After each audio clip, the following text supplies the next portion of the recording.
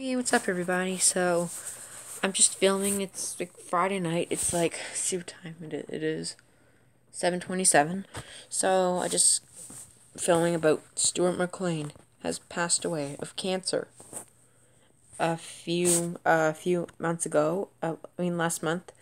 So, six. He died of age 68. Come on, it's like not even old. So, like, I heard about him before. So. I'm just I just never heard about him. I barely knew him though.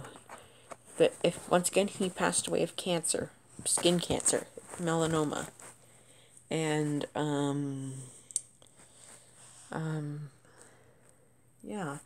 So just like age six, and someone dies at sixty-eight. It's not even old. So yeah, even when when my cat passed away, my Hercules, like I have a new one.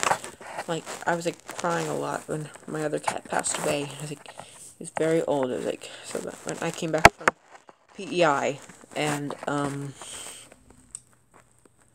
um um yeah and just just filming. I hope you guys like this video and um that's it. Okay. Bye bye. See you next time. Bye.